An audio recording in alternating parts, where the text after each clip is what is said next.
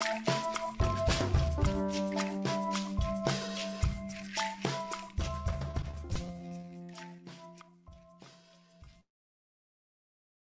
ladies and gentlemen, boys and girls, it's uh, time for another of these uh, live events. It's uh, great to be with you all again. Um, things have been busy for everybody, uh, but uh, I think we have a really a great crew tonight. There's a lot to talk about in pediatrics and critical care. We'll be hearing from Peter W. Um, we've got Ilene Claudius with us, plus the usual crew. But uh, before we begin, let me show a few slides um, to set up the evening for us. And I'll ask Stuart when you're seeing those. We are indeed, Mel. Excellent. So, um, unfortunately, before we begin, um, I'm having technical issues, of course. Uh, it. So, let me try this one more time, always with the technical issues with me.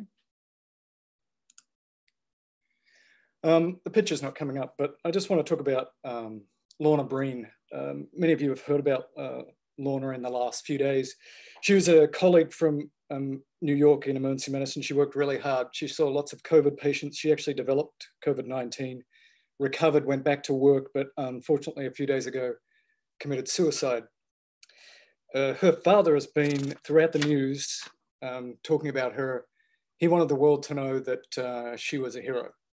Uh, he's a retired surgeon himself. And it, her death sort of reminds us that this job is difficult at the best of times, um, but this is an extraordinarily difficult time. And it's just an additional stress on top of everything else. We don't know the details of her life, but we know that uh, what she did really mattered and what you're doing really matters. And uh, just remember that if you're feeling stressed, that's normal. Go talk to somebody. Reach out to your colleagues and your friends. This is uh, this is a a stressor on top of what is already a very stressful job. So um, in respect uh, for Lorna and, and, her work, please uh, don't be afraid to go see somebody. It's not a sign of weakness, it's a sign of strength. And uh, to you, Lorna, for your years of service, uh, what you did really mattered. So thank you. So Stuart, I'll take over the screen again because I think it was just that one slide that was the problem. Um, it's hard to transition after something like that, but we have to continue on. And uh, so the chapter is getting updated uh, still frequently. The, the rush of information has slowed down a little bit, but we are continuing to uh, revise and revise. And to Salim, Rezaie, and others that are helping us, it's been really helpful. We now have uh, versions in Spanish, French, Portuguese, soon in Arabic, and in Japanese.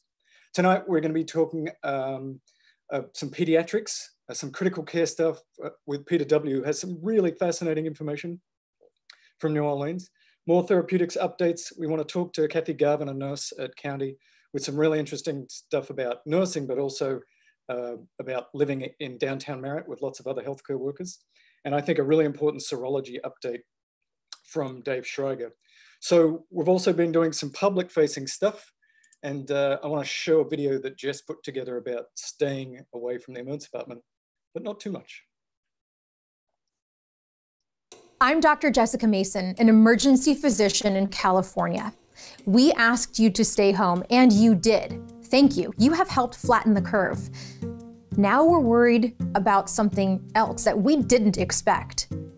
Where are all our patients with heart attacks, strokes, appendicitis, and all of the many other things that we usually help people with? A recent study showed a 38% drop in the number of patients coming in with heart attacks. We didn't cure heart attacks. You're just not coming in. While some hospitals are packed with COVID patients, others are empty. If you're having a cold or mild flu symptoms, stay home, call your doctor. For everything else, if you're worried that coming to the ER is a risk, not coming to the ER might be a bigger risk.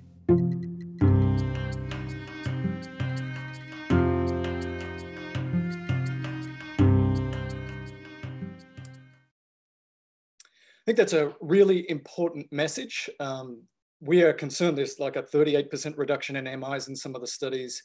And um, we think that it's probably just that people are staying home to have their heart attacks.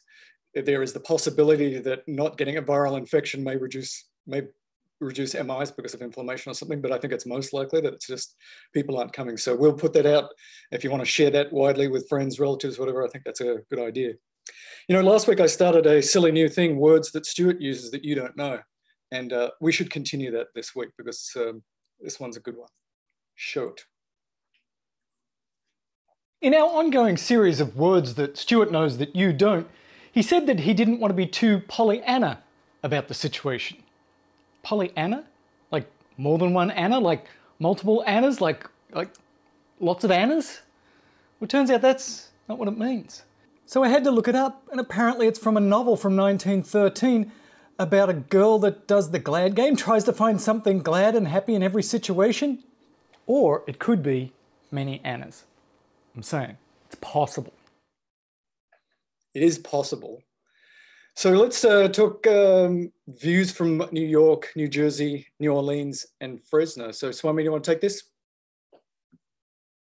Yeah, so I'll start. Um, you know, not much has changed actually since the last time you guys let me do an update from New York, New Jersey.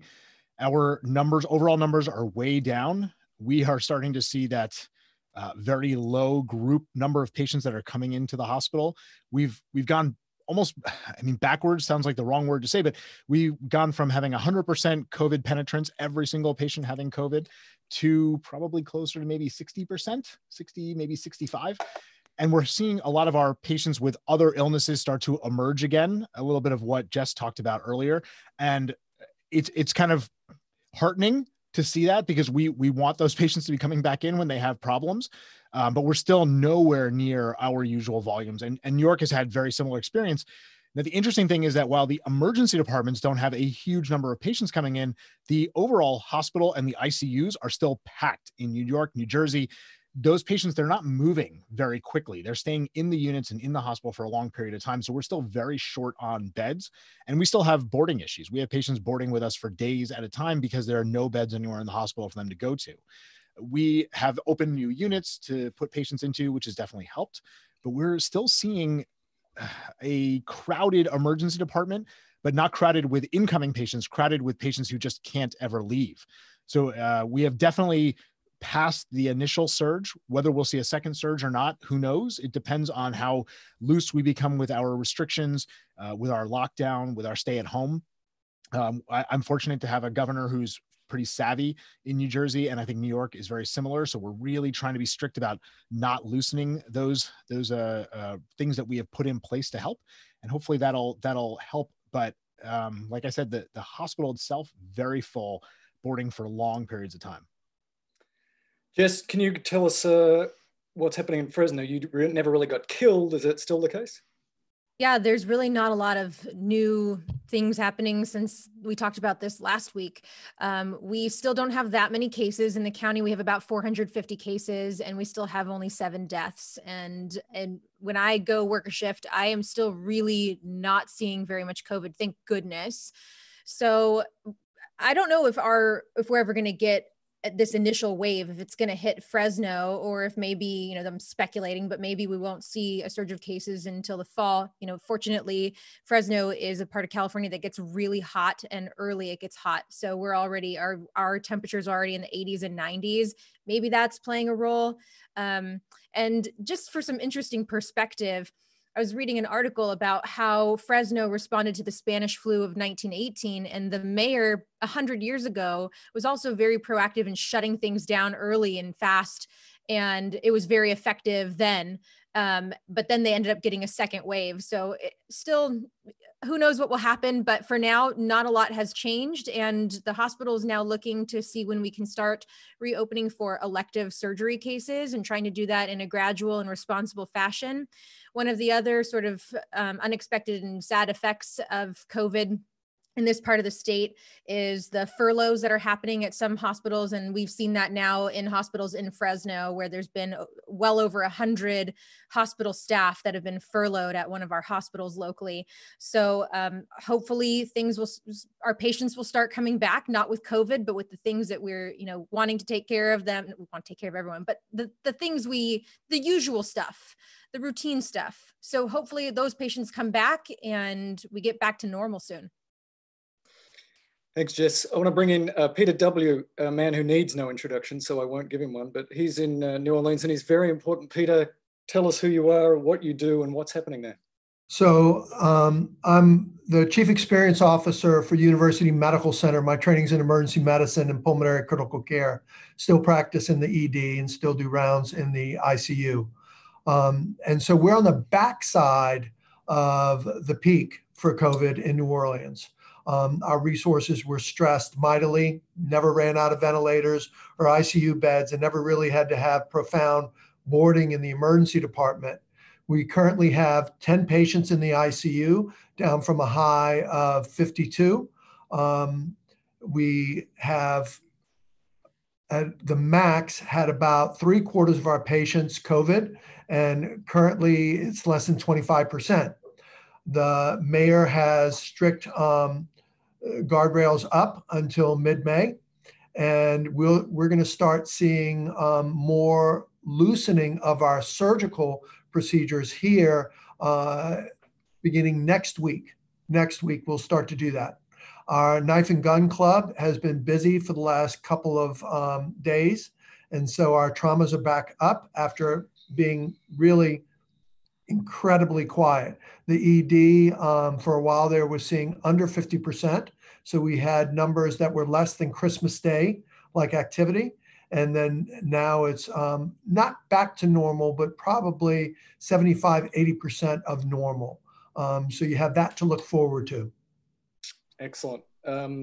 We're going to get back to Peter in a minute and talk about some of the really interesting things they are doing with intubation. It's really good to know that your gang members got the memo that it's okay to get back to usual activities. That's great. Um, I'm going to throw to Jess now, who's going to be talking with Ilene about some really interesting PED stuff. Yep. So I get the pleasure of speaking with Dr. Ilene Claudius, who's an emergency physician and also boarded in pediatric emergency medicine.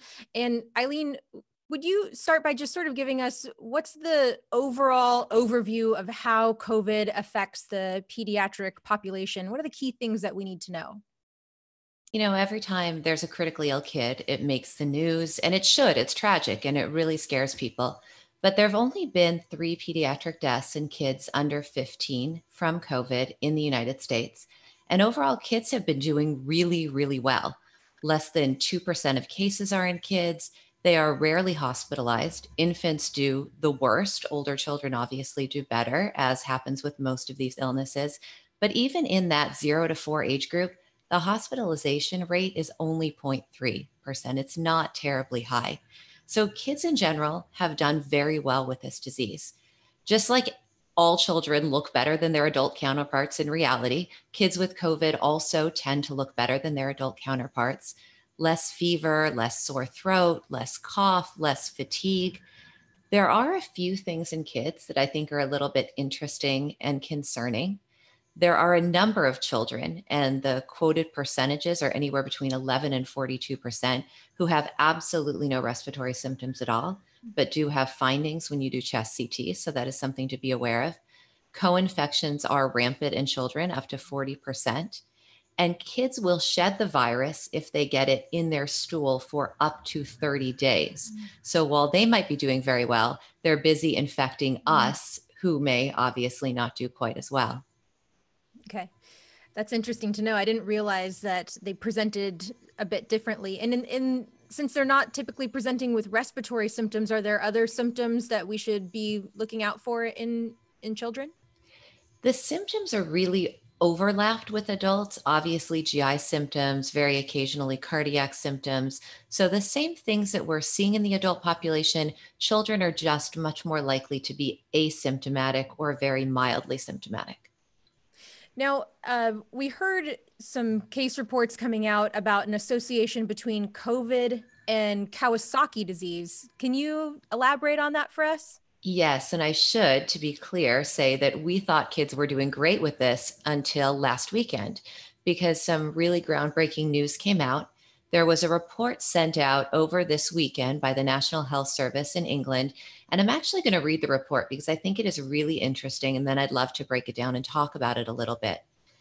So, to quote, it says Over the last three weeks, there has been an apparent rise in the number of children of all ages presenting with multi system inflammatory state requiring intensive care across London and other regions in the UK. These cases have common overlapping features of toxic shock syndrome and atypical Kawasaki disease, hmm. with blood parameters consistent with severe COVID. And it goes on to talk about some of these children being COVID PCR positive, some of them having positive serology tests, and also a prominence of GI symptoms and cardiac symptoms as well in these children. So it sounds like there have been at least 12 kids in the UK who have required intensive care for this, one of whom has gone on ECMO. And since these reports came out, Italy is now saying, hey, you know, by the way, we're seeing a huge uptick in Kawasaki disease as well. There's one hospital in Italy who's reported 20 cases of Kawasaki disease over the last month, which is a six-fold increase over what they normally see in a given year. So there is something definitely going on. If I could have the slides up for a second. So this is the first article to come out on this. And this is a case report about a six month old child who presented with what looks like Kawasaki disease, probably due to or associated at least with COVID. This kid has the typical limb- limbic sparing conjunctival injection and they have a very typical Kawasaki disease rash that you can see on these pictures that are from the article itself. Now, could COVID be causing Kawasaki disease? Absolutely, it could. I mean, we don't know what Kawasaki disease is actually from, so it certainly could be from COVID. A lot of things point to it being from an infectious trigger, at least. And there are studies that show that up to 40 ish percent of kids will have a positive respiratory viral panel. And while it's not normally coronavirus, there have been a few studies on both sides proving and then showing otherwise that certain strains of coronavirus may be one of the more associated viruses with Kawasaki disease, particularly NL63. So, for those of us who don't see Kawasaki disease very often, could you remind us what we're looking for to make that diagnosis? You showed us the limbic sparing conjunctivitis and the rash give us a quick overview to, to help refresh our memories? Absolutely. Now, remember, we are only dealing with 12 patients at this point, so we don't have a huge breadth of knowledge what this is going to look like. But in the UK's report, they talked about atypical Kawasaki.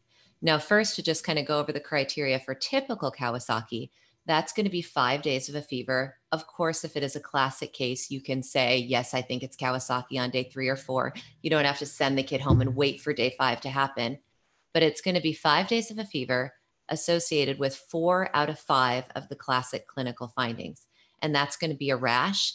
And it really can be any rash, but usually it looks a lot like what we saw in those pictures a non exudative conjunctivitis, usually bilateral, erythema and or swelling of the hands and feet, some type of mucous membrane changes. And the classic one that we always talk about is that strawberry tongue, but it can be something as simple as cracked lips. And the last one is cervical lymphadenopathy, and it needs to be a node greater than 1.5 centimeters. So those are the classic findings for typical Kawasaki. When we're talking about atypical, we're usually talking about kids who have only two or three of those findings. So they don't necessarily have four or five like we would see in a more classic case. And what can help us in diagnosing those kids are some of the labs that we've been seeing in these children coming out of the UK and that were cited in that case report. So these kids will have an elevated CRP or SED rate, they'll have anemia, a low albumin, an elevated ALT, elevated white blood cell count, a sterile pyuria, and if you wait long enough, elevated platelets as well. And so if it's a questionable case, sending some of those labs off can help guide you if you don't have easy access to things like echo which are more definitive. Okay great. That's helpful for the review. Um, and in terms of other things that you're seeing right now in the pediatric population are there other trends that you're seeing that you know may or may not be related to the pandemic that we need to be aware of absolutely until this weekend i was fairly certain that almost none of the morbidity and mortality from coronavirus was going to actually come from the virus itself, but rather from casualties of this safer at home, which I guarantee you most children who have not been in their parents' care 24 hours a day for months on end are not necessarily safer at home.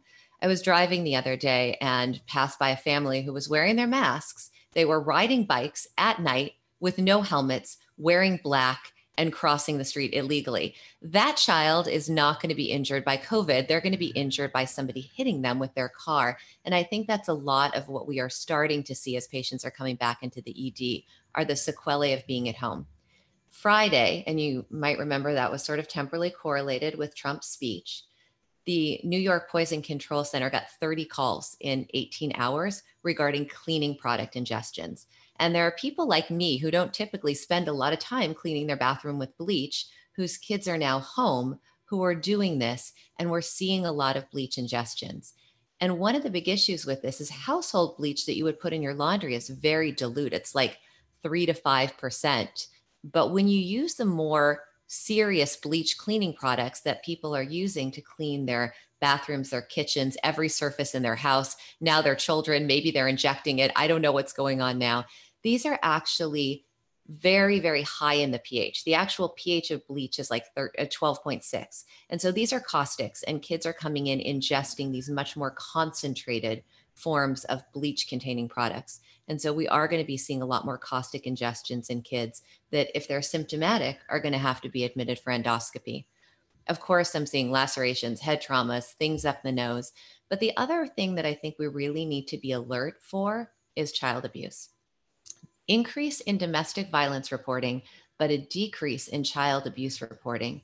And one of the big reasons for this is that teachers account for about 25% of child abuse reports, as do, I'm sure, a lot of other people like pastors, rabbis, places that kids aren't going now.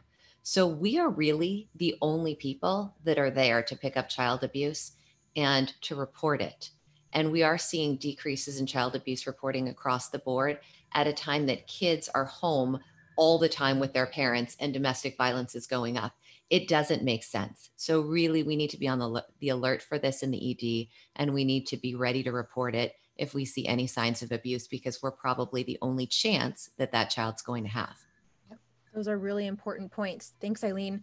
Um, uh, does anyone else, before we move on, have any questions about pediatrics for Ilene while we have her on the line?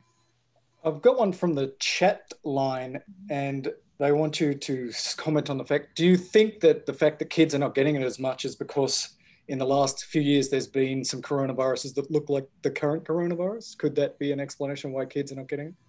There's no clear explanation that's been really put out there. There's a lot of different explanations having to do with their lung parenchyma. Lots of different things are out there, nothing certain. If you want my personal opinion, I think it's exactly what you suggested, which is there are at least four benign ish, benign strains of coronavirus. And kids have been getting those year after year after year after year. And just like when we get our flu shots year after year after year, we tend to get a less severe case. So I think that they are getting it so much less severely that they're not getting tested. And it looks like they're really not getting it at all. Excellent. Right, let's uh, keep it moving then. And we're going to get into the critical care stuff with Peter W in just a second. But before we begin, Sara Crager was over in the studio, physical distancing and doing all the right things, and putting in the next of her series in vent management, which is outstanding and should be up on the site very soon. But we were just sort of chatting and testing cameras, and I was just sort of caught her waxing philosophic about um, COVID 19. like every critical care person in the country, she's thinking a lot about it constantly and seeing a lot of patients. So let's run the video and then Swami, you can take it from there.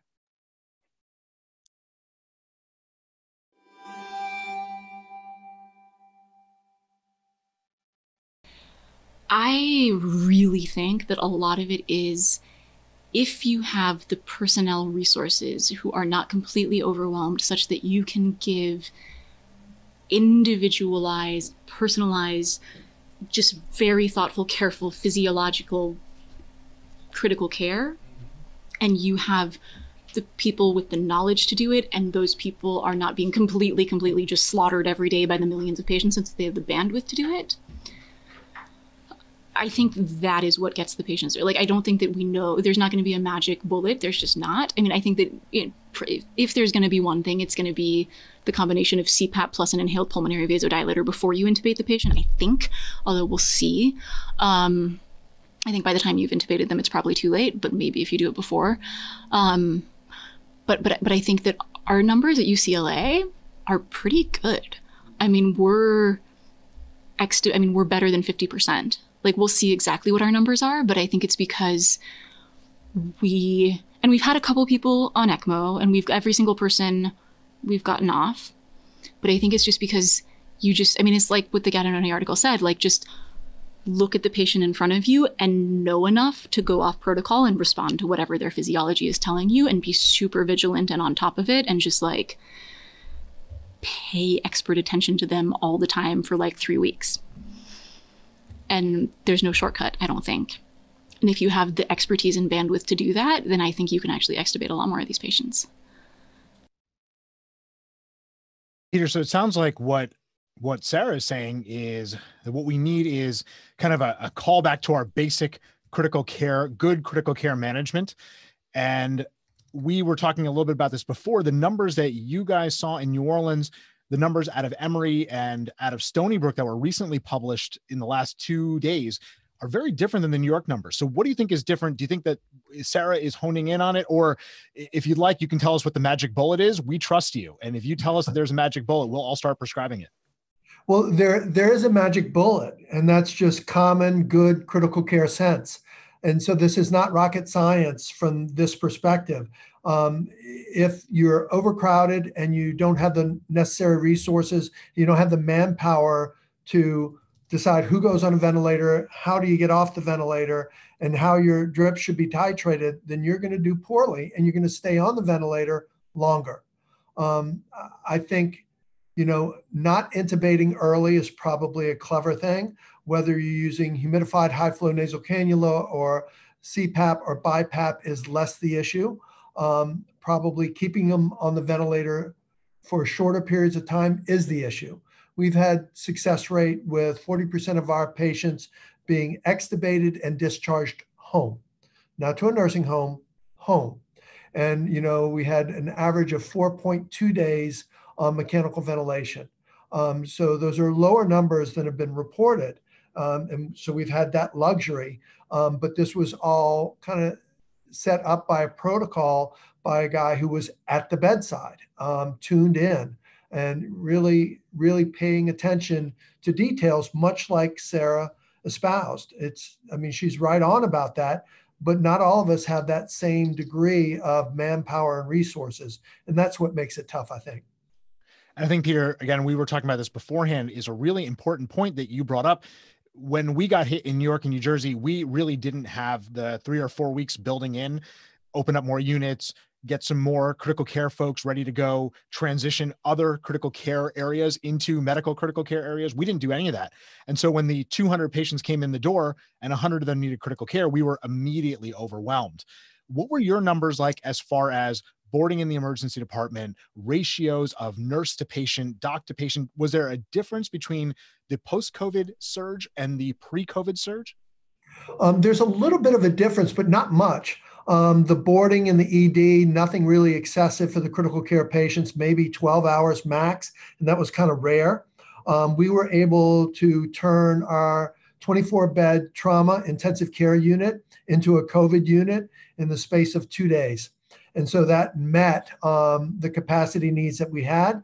And then we stood up another 24 bed negative pressure unit um, in the space of a week. Um, our greater struggle was finding the appropriate nurses. We have the luxury of being between LSU and Tulane medical schools. So those experts were, you know, busy at it, delivering the care, um, but getting the appropriate nurses to the bedside was important. Um, we were able to convert those trauma patients over to the PACU or recovery unit and the burn unit. And so those teams were really instrumental in helping out with our typical patients, um, making room for, you know, 52 plus um, COVID patients in the ICU, eh, you know, at our max. And now we're down to 10 COVID patients in our ICU. So a dramatic swing in the space of about six to eight weeks. Yeah, we still have 10 ICU patients in my emergency department right now that we're boarding still. So you talk about 12 hours. We were talking about eight to 10 or 12 days that patients were staying in the emergency department. And, and Peter, I don't want to put words in your mouth. It sounds like what you're saying, what Sara's saying, what everybody in New York is trying to tell everybody else is ramp up now, open up more units, hire more people, get more nurses that are trained, that are cross trained to take care of ICU patients, to take care of floor patients with this. And as much as we like to think we're all important, without the right nursing ratio, none of this works. Without nurses, without the right number of trained nurses, you can't do anything. I would agree with that 100%. I think that that's critically important. I'd also point to our listeners that boarding, whether you're a med surg patient or whether you're an ICU patient, portends worse outcomes. Um, so we're not doing our patients any favor. Now, I would tell you, I would rather be boarding in the ED than boarding on a med surg unit any day of the week, both from a nursing perspective as well as physician perspective. I think you're better off. However, it's still not the ideal situation. Peter, let's uh, uh, pop up this flow diagram that you shared with us that you guys are using. If we can get that slide up of Peter's critical care guidelines, actually, Stuart, we can, can look at that. It? It's not working for me. In the meantime, while we're getting that up, one of the questions that came across on the chat, Peter, was about Heliox. If you guys have used this at all, if you have any experience or if it has any benefit or uh, if it's not something you've reached for. So I've had experience with Heliox in the past, but we're not really using it um, in these cases. Um, we, have not really had the need to at this point. Um, the diagram that you see in front of you is one that was created by uh, an intensivist, pulmonary critical care intensivist, David Janz, out of Vanderbilt, who's now with us. Um, and he's just absolutely brilliant.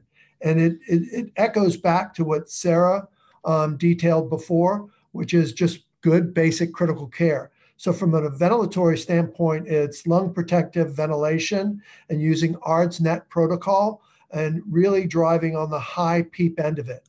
And again, prone positioning. Um, we actually had a prone team, the anesthesia team, mobilize themselves and came through the ICU and would prone folks every day. Just that team focused on that, which allowed our intensivist to focus on intensive care medicine, not the mechanics of flipping people. And then fluid management, typically running patients on the dry end and basing that on your pressor needs and use. And then from the sedation standpoint, again, you know, Society of Critical Care Medicine starting everything with fentanyl if it was available, and then running the patients kind of on the lighter end so that they could participate in their care if that was possible, particularly if they weren't being flipped. Peter, a couple of things in here that I, I find really interesting that there's been a lot of conversation back and forth about. One is about the fluids that uh, are being administered. These patients do have some insensible losses, right? High respiratory rates. They might have had some losses coming in, but it sounds like you guys are keeping them pretty dry. Yeah, you know, again, the ARDS-NET data supports dry patients. And so that really harkens back to that point. The insensible loss piece, I mean, even in asthmatics, that's not been really proven to be a reality. We, we think about it a lot. We talk about it even more than we think about it, probably, um, and we shouldn't be. And what about with the the? Uh, uh, there's been a lot of looking at acute kidney injury with renal insufficiency. Do you think that us keeping them dry in the Lasix is contributing to this? This is something that was going to happen anyway. Where do you fall on that? I, I fall on that in in if you have enough inflammatory markers that are being released in the lung, you're going to wind up with a kidney hit. You're going to also wind up with the need to be on more than one pressor in all likelihood, and that's the common pathway. Um, we we kind of struggle with that set of patients because our nephrologists were were hot and heavy to use um, renal replacement therapy that looked like CRRT um, as opposed to episodic hemodialysis. And their argument was, you know, hemodynamic stability. There, there's no real evidence that looks at CRRT being um, being a better outcome marker um, compared to normal hemodialysis. But CRRT, we found um, far more clotted lines and far more manpower issues. Um, it made it next to impossible uh, from a manpower, nursing manpower um, standpoint to do CRRT. One last thing I wanted to get into, Peter, before we see if there's any questions from the audience, is about proning. And you mentioned that you guys were doing some pretty aggressive proning on your intubated patients. I have a couple of images of some awake proning that we were doing down in the emergency department. Were you guys doing a fair amount of awake proning in the ICU, or uh, was that going on elsewhere? Well, we did a little bit of that on the med surg units. In the ICU, we really try to encourage our patients um, uh, to be up in a chair um, and do deep breathing. you know, this, the, the virus makes you pretty debilitated and pretty wimpy. And so these patients were just content to lay flat on the bed.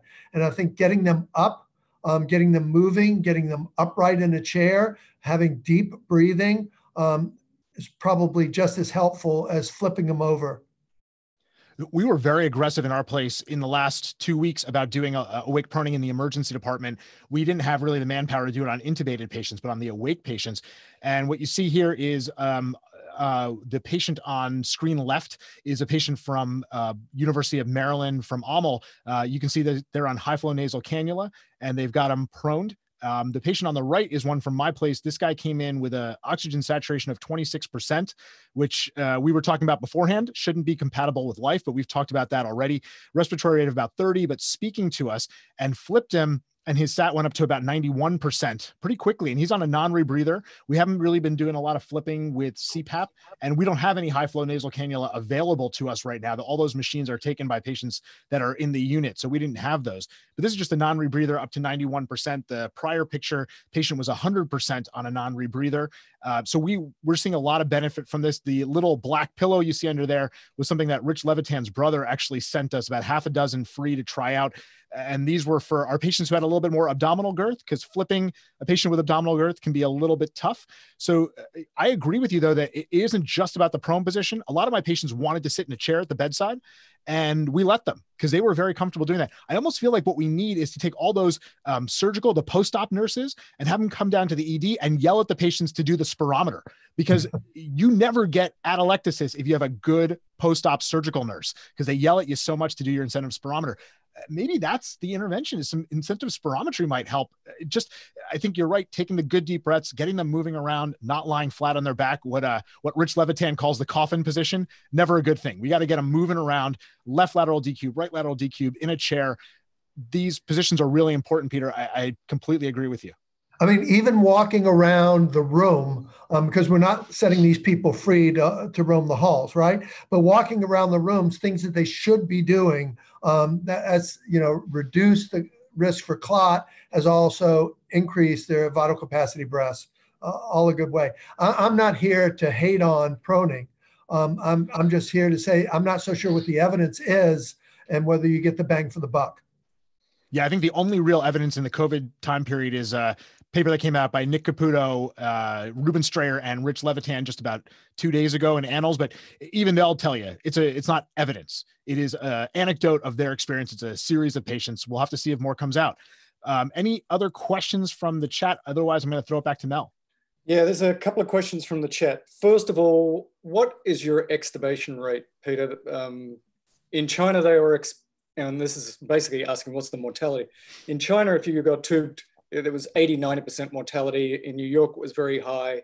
Um, what was yours? So our mortality was 55%. Um, and again, we discharged home 40%, 40% of those patients who were intubated, right? We still have some folks in the hospital and we still have some folks who are currently intubated. So those are our current numbers. And you said before we were talking that an average of four days on the vent? Our 4.2 days are the duration of our vent days. We were very, very aggressive in moving patients off of the vent, doing spontaneous breathing trials three and four times a day um, to see if we could hit it, and then placing them on non invasive. So, late to intubate, early to extubate was Correct. the regimen you use. Because we, you, we think the ventilator and the time on the ventilator worsens their ARDS, worsens those inflammatory markers, um, makes it more difficult for the patients. And you don't have like a young, healthy population. You have um, a population that probably has a lot of other disease, a lot of obesity. So this is not like it was a, a weirdly well group. Well, I, I, would tell you that the, the first groups that populated our ICUs were a little bit younger, maybe average age um, 50s, um, but all of them, all of them were BMI boosted, um, every single last one of them. And it was difficult in prone positioning to tell who was who um, in the unit. And then that was the, the black people were then replaced um, by the brown people. And so we in New Orleans really had strong representation of social determinants of health. And so those people who normally were, were dying prematurely with heart disease, normally dying prematurely with stroke, normally dying prematurely with kidney disease were, were the patients who were dying um, with us um, due to COVID. One last quick question because it keeps coming up. Um, prophylactic anticoagulation. Did you? What did you do? There's lots of this microthrombi. There's lots of yeah. stroke stuff. Did you anticoagulate everybody? What did you do? So it's interesting. Um, in our MICU, who had the best stats um, with David Janz's group, um, no anticoagulation other than low dose, um, low molecular weight heparin. The TICU, probably a week into it, fully anticoagulated um, patients on heparin. Um, and we really haven't diced down um, the outcomes for those two groups. There's uh, more questions, and maybe we can get to them later. But uh, let's keep it moving. Thanks, uh, Peter. Uh, you might have to jump off because you've been in the hospital. I think you said for 42 days straight, which is, seems to be too much time in the hospital. a little bit much. It's and just reminding your listeners that you know it's it's a marathon, not a sprint, and to engage in self care. But um, I had this past weekend off, so I'm strong. But thank you guys. Appreciate the opportunity. Thanks so much, Peter. Peter. All right, guys. Be well. So I'm going to hand it off to Swad with some therapeutics update with Dr. Nordt. All righty. Um, just wait for me to. All that work for this slide. Thank you. I'd like to bring Sean into the discussion. Um, and uh, let's start off with this one. Um, well, uh, the FDA, if you hadn't heard, has uh, cautioned against the use of hydroxychloroquine or chloroquine outside of a uh, study situation. So that's a big, big deal. Um, just my two cents uh, about this before uh, we get Sean's is, uh, you know, there's been no randomized controlled data published that's peer reviewed. And um, although we saw that huge increase in mortality uh, in the one study, the VA study with the 300 and some odd patients, I think it's I think we should still be cautious to make the conclusion and remind ourselves that that also is an association, uh, the one with mortality. It's not good. It's not looking good, uh, but we just have to be careful until we get you know the full data. So that, that's my two cents. What would you say, Sean? Yeah, I agree with you, Stuart. I mean, if we look at this, uh, we, there is uh, we can't say causation, right? There's an association, exactly what you're saying, but things aren't looking so good for this drug and really should not be used outside of a clinical trial. You know, uh, you and I were discussing earlier, but this harkens back to the CAST study. If you're of a certain age, you remember the CAST study. It was an antidysrhythmic study from 1991, and a lot of people died from getting this. Uh, from antidysrhythmics. These were people who were relatively healthy, just had PVCs after MIs, and there was a couple of things and i think this might fall into 20 years later we might be talking about this the same way we might be doing a lot yeah i was going to say yeah we were i was going to say that you know there's there's it's not right now is not probably the time but there's going to be a lot to discuss uh, in retrospect here because of what happened uh, the massive massive amounts of medications that were uh, distributed and redistributed and and uh, and the public the, uh, that you know you saw the prescriptions went through the roof. It was some yeah. you know tremendous amount of prescriptions uh, uh, but yeah. Uh, but I so think that's have, the update on hydroxychloroquine. We're going to have to talk about that. So that's the uh, so not looking great is how I summarize that. Um, so just to run down the list, I mean, it's funny we've been we've we've featured a lot of medications over the past few weeks. The IL six inhibitors, we were uh, encouraged about them because they seem to be rather specific in their mechanism, but uh, so far doesn't the data well, not good, I, right? I, I still am for tocilizumab. So this is uh, sarilumab and the company, to their credit, actually released data, negative data that came out. Uh, uh, this was just the other day. So they had 457 patients that were uh, not on event, but they were severely ill. Uh, and it showed that while it did decrease their CRP was their marker, there was really no clinical benefit to that.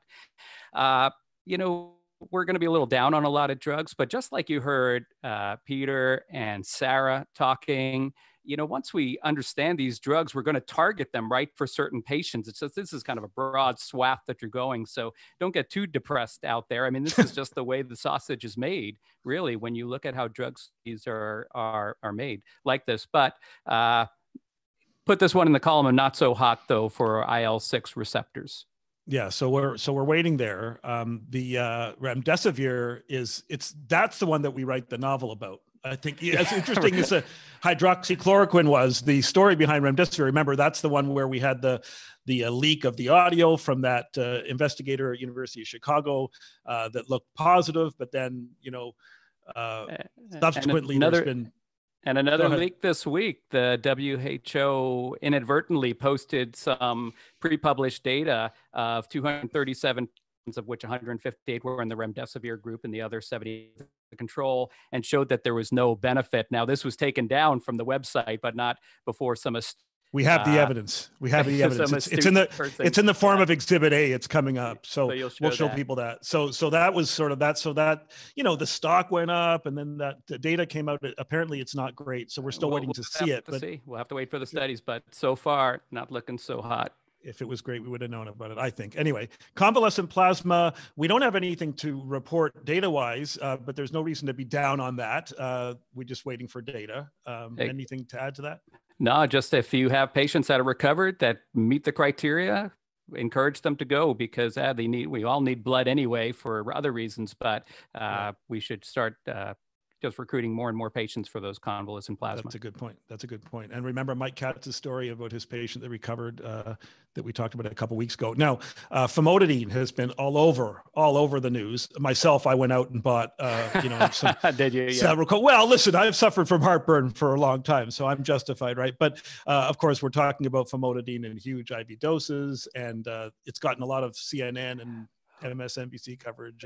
well, it did, and I give credit to the investigators out at Northwell, uh, Northwell out there in New York because they really kept us under wraps, probably knowing that there was going to be a run on famotidine once this came out. But this is interesting. There's an ID doc named uh, Mike Callahan who was out in China and just realized that hey, there was a bunch of patients that should have otherwise died. Uh, that survived, and they look at them, it was over like 6,000 patients, and they identified that they were on famotidine and they actually had seemed to be better. There was a mortality benefit of something like 14% to 27%, I think is what that prelim stuff showed. And that's really what drove this. This is a proper study, and we'll just have to wait. But of course, we're not encouraging people to run out and pay high dose uh, famotidine.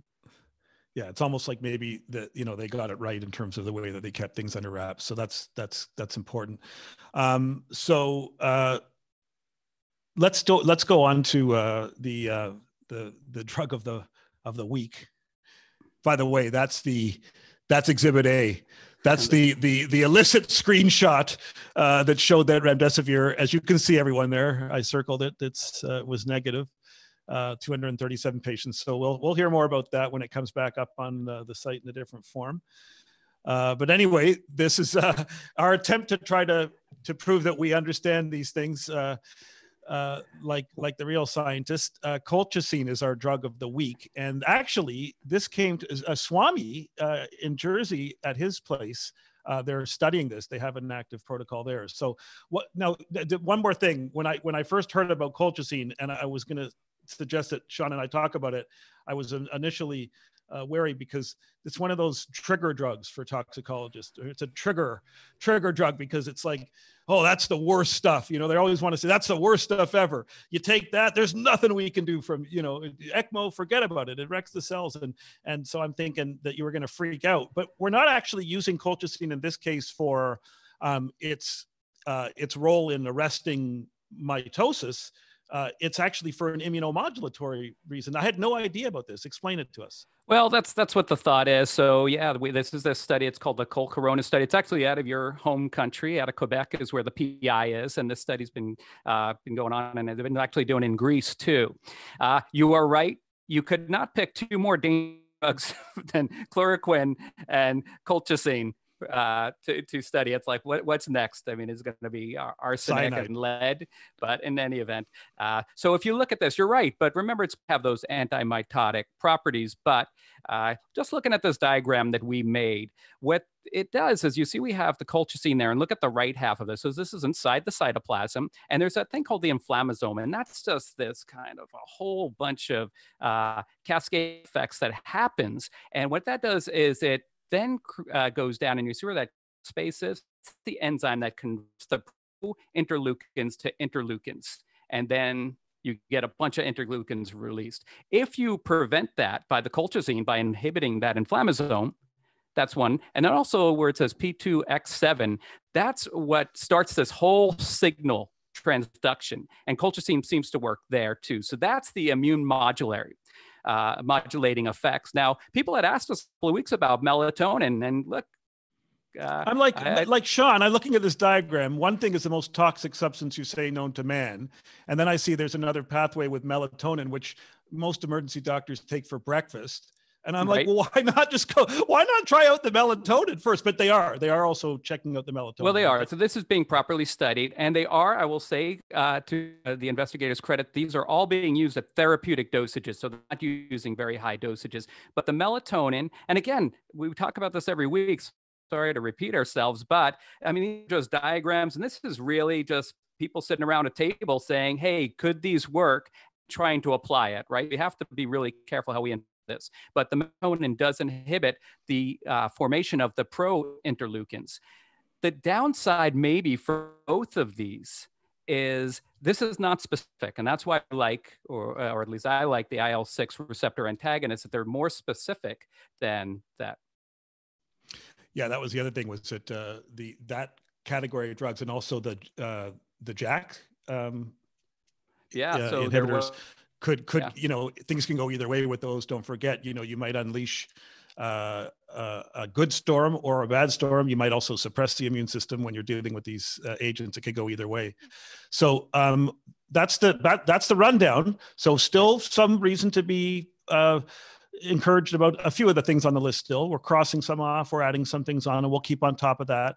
Uh, I do have a couple of good questions uh, from the audience. There's this persistent uh, business, uh, Sean, about the ACE inhibitors, yep. the ARBs, the patients that are on them. What's the latest from a from a, a ph- pharmacy point of view? So I'll tell you what the, the latest is. So of course, everybody the initial concerns were if these patients are on this, they're going to update this ACE2 receptor and they'll have worse disease. So that was a concern. But then people said, well, if they block these receptors, maybe they'll be beneficial. So it's being studied for that. The most recent data looks like it is no more dangerous. And there was just in circulation research three days ago, four days ago, a case series of 19 patients that actually did better. But we have to be really careful.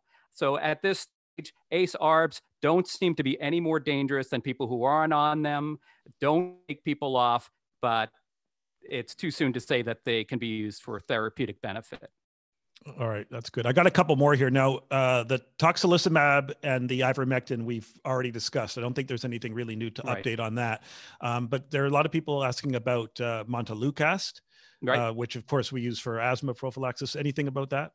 Yeah, so these are all being studied. They're similar, right? We were going to talk about interferon too, but then everything just keeps coming and kind of climbs up the list. Uh, but they're all being studied. They're all these immune modulators. I don't have anything really specific. There's just ongoing trials, and we really have to. And this is going to be, I know it's hard. And you hear all these stories from like Peter W. and Swami and everybody else, uh, how bad it's been. But hopefully there's no second phase. But if there's a second phase, by this time, we're going to have a lot of data that we can really interpret and maybe approach this in a much more scientific fashion. All right, so uh, that's the therapeutics update for this week. We're gonna we're gonna actually talk a little bit about uh, the nursing perspective next, uh, right, Mel? Yeah. So um, we haven't actually been uh, heard from our nurses much, except from the doctors saying this doesn't work if we don't have trained nurses, and um, it's a real issue that you run out of nurses very quickly when you fill up your ICU. But I wanted to get Kathy Garvin to come in and talk to us. Uh, she's actually working tonight. She's got two parts to this story. One is what they did at USC to get ready some very interesting stuff. And then the second part is of what's it's like to live in a giant Marriott with millions of healthcare workers. So let's roll the tape. I think the nurses at first uh, were super, super worried, super afraid, but kind of proud that it was them and weren't sure what was going to happen. And now I think that they take a lot of pride they're doing an incredible job. They're picking teams that work together and signing up to go into our more difficult areas, kind of our COVID castle, we're calling it. And the what they're doing is we have separate areas. We have the patients that we initially suspect to have COVID, and then we have the patients that catch us by surprise. The patients that we initially suspect are going into an area that we have made into a negative pressure area with 14 beds. And then we have overflow areas as well.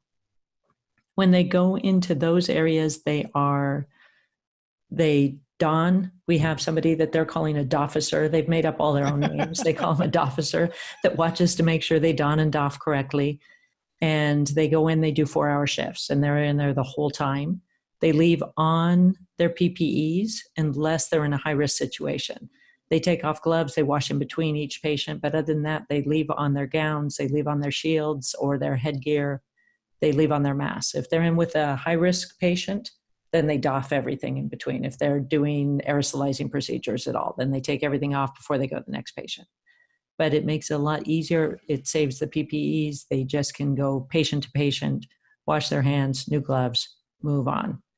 If it catches them by surprise, it's still it's still hard because they have to don and doff in between each patient and each individual time going into the room because they're with other patients as well. So it makes it tough, and that's a lot more nerve wracking for them, a lot scarier. But when they're in the kind of COVID area, they're on a roll. They know they've got their four hour shift. We have food and drink waiting for them. They take a lot of pride and they do it really well. Yeah, that's pretty cool. So go to the bathroom, drink a liter of water, and then go work for four hours. and then hold it for four hours. That's actually the, that's actually the biggest problem that they say is that having to go in. And I've spent I don't think I've spent a full four hours. I've spent about three three and a half hours in there and once you get, it's very claustrophobic when you first go in, but if you're taking care of patients, it's not so bad. Once you have patients in front of you, you have something to concentrate on, you can do it for the four. So another thing that's uh, fascinating to me is that there's this giant Marriott. It's in downtown LA. It's part of LA Live, which is this big sort of entertainment uh, complex thing.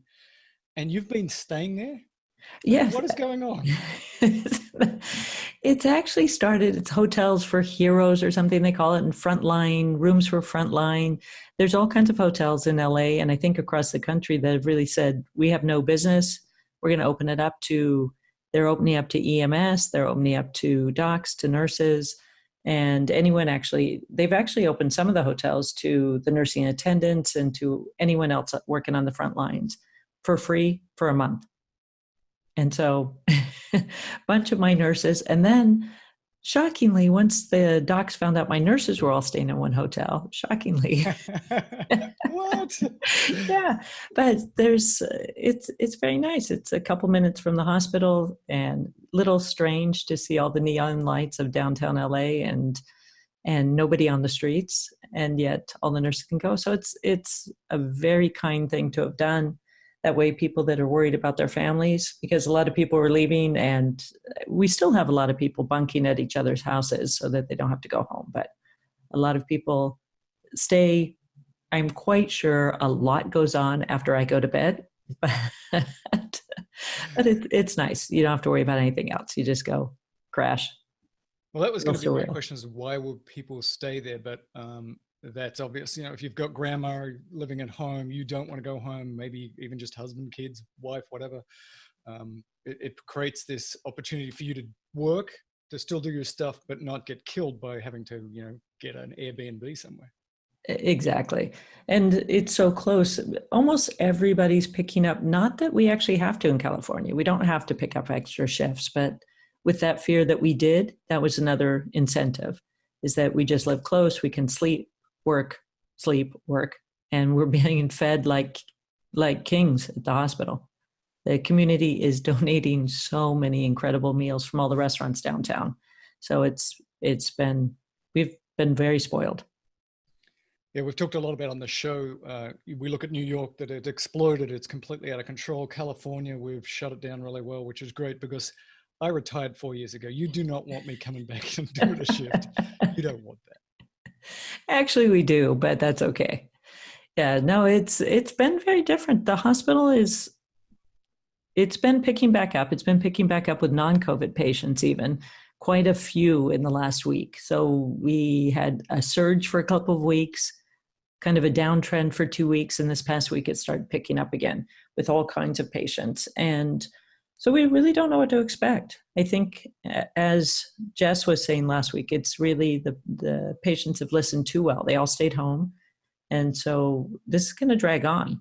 And thank God we're not going to get anything like New York, but hopefully it buys us the time to to really learn what it is we need to do with this virus and to do it better. Each week we kind of change. We all listen in, we all read, and then it kind of molds itself each week. And so hopefully we've got enough time to figure this out.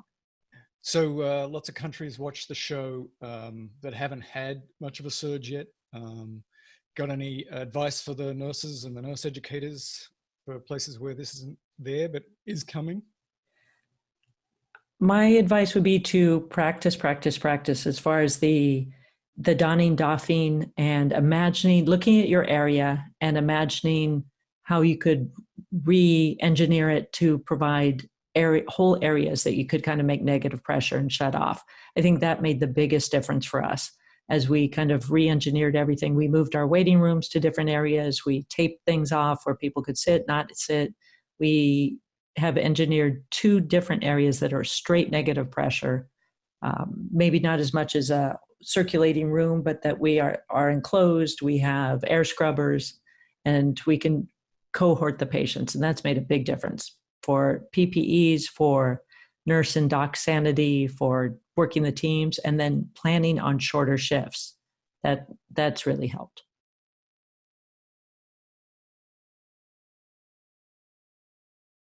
So thanks to Kathy for putting that together for us. Um, I want to now talk uh, lastly about um, serology and what's going on there.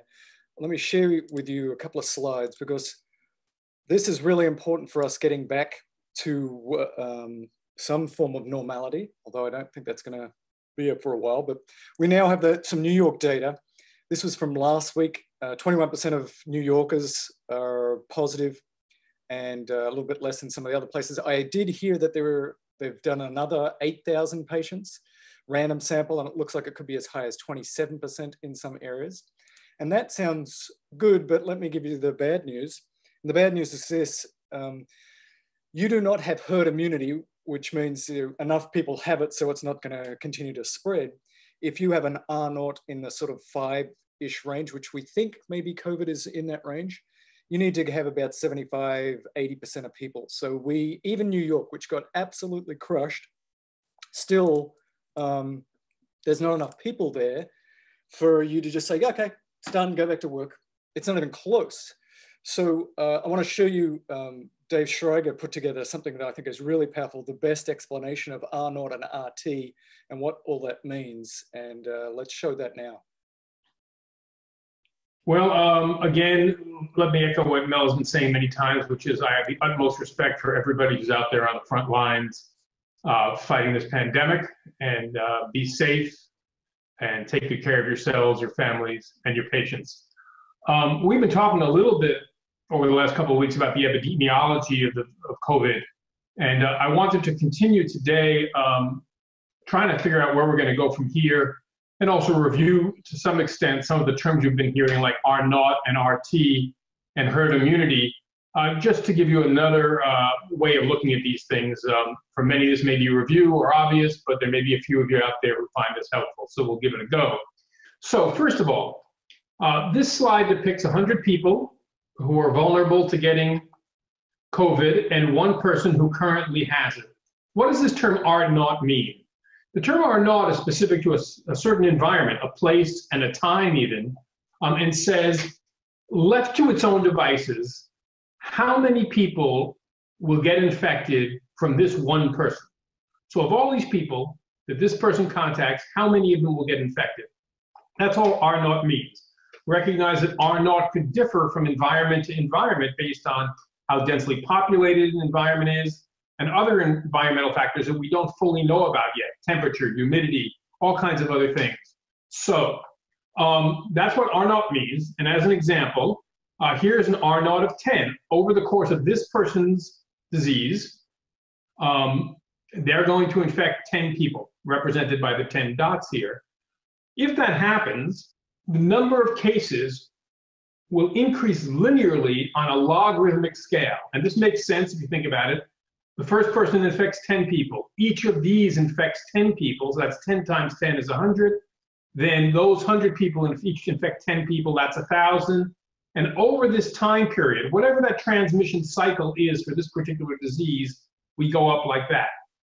If, however, we have an R naught of two, this one person only infects two people. And consequently, the slope, again, on a logarithmic curve is much lower. Finally, you can imagine that if R naught equals one, each person infects one person. I didn't draw the graph here, but you can imagine that there would always be a flat number of people because as soon as this person has it, this person gets it. Eventually, this person doesn't have it anymore. This person still has it. So there's only one person who has it uh, in the community, and the disease would just kind of peter on. Three is a common number kicked around for this actual COVID infection, and that's what that would look like. But what we'd really like to know is not just R naught, but what RT is. RT is what the actual transmission rate is in the community at a certain time. And just because R naught is three, RT doesn't have to be three. For example, imagine we do something which is the opposite of social distancing. We make, make everyone go to political rallies every day, which brings this infected person in much more contact with all the other people. And therefore, instead of infecting three people, this person infects this many people. And obviously, RT is much higher than R naught because you, you in fact, you've done social concentrating. Alternatively, um, you could do things like a six foot rule or a mask, which would decrease this person's transmission. And even though the R naught is three, in the presence of these things, R naught becomes two. Ideally, for healthcare workers like ourselves, good PPE practices would set up a barrier that gets RT to be zero, even though R naught is three, and that no healthcare workers get infected. And clearly, that is our goal, not currently an achievable one, but hopefully something we can move towards with uh, better training, better availability of PPE, and less of a surge condition. We try stay at home. What does that effectively do? It decreases the number of people that this person is exposed to. So instead of being exposed to, say, 100 people in their normal life, they're only exposed here to 30. And instead of three people out of that 100 getting it, one gets it. If we combine all these things, the six, six foot rule, the mask, the stay at home, hopefully we could drive RT to less than one.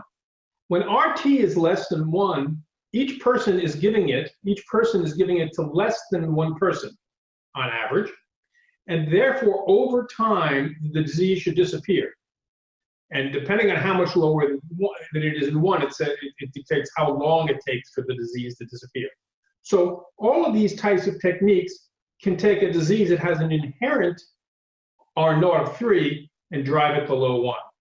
So if we want to get rid of this epidemic, one way to do it is by techniques that decrease RT below R naught. The other possibility is that R naught actually might change. So imagine that miraculously, uh, as summer approaches, as happens for many other diseases like the flu, R naught changes. Well, obviously, R naught dropping down to one with the other social distancing things in place would drop RT to less than one, and we would see the disease decline in the population. But let's now start off with an R naught of three. And let's assume now that um, we've been through this first cycle, the surge is over, the biology of the disease hasn't changed. R naught is still three. Uh, what happens next? Well, if miraculously everybody already had the disease and everybody was immune, and that could be by everyone getting it or by a vaccine, which we don't yet have, R naught could still be three, but RT would be zero in this case. If, on the other hand, we imagine that 20% are immune, a number that's been kicked around as a high end estimate in New York, well, these 20 people are immune, that kind of takes them out of it. But even with an R naught of three, you're going to still have, just by the mathematics of this, assuming that everyone is equal, everyone who's susceptible is equally likely to get infected, um, you're still going to have an RT of 2.x, and the disease will continue to grow in the community. And these numbers, of course, this is what forecasters spend their lives doing, is trying to figure out what that x is. For our purposes, just recognize it with this many people out, you still have transmission, which is above the magic number of one, and the disease will continue to grow. And imagine that in places not like New York, most of the rest of the country, this isn't anywhere near 20%. It's more like, you know, a couple percent, so that there are only five or six green dots, and the rest of these are all white. We're basically right back where we started from. So I think that was a really sort of nice overview of trying to understand this. And um, I'm hoping that some people in government understand this. Uh, after we've gone through all of this, we're still at this place where this can explode and be worse than before if we don't do the things that we've been doing. Now, Dave and I went on to discuss a lot more about what Sweden is doing, which did much less of this. And they said, well, we're kind of going to let this run through the community and try and get herd immunity that way and see what happens. Currently, they have tenfold the death rate of the other Scandinavian countries around them. Ultimately, those other countries might catch up and maybe Sweden was right. He also talks a lot about um, the fact that in an American system, and a lot of people outside the US don't understand this, in a for-profit system in the United States that runs a capacity because that's how you make money, there is no surge capacity. Whereas in other countries, there is surge capacity and there's more uh, distribution of hospitals in the right places. You can get away with a little less of the stuff that we're going to have to do and are doing. So that's up on uh, YouTube now. You can go and listen to that. It's a really, really interesting conversation.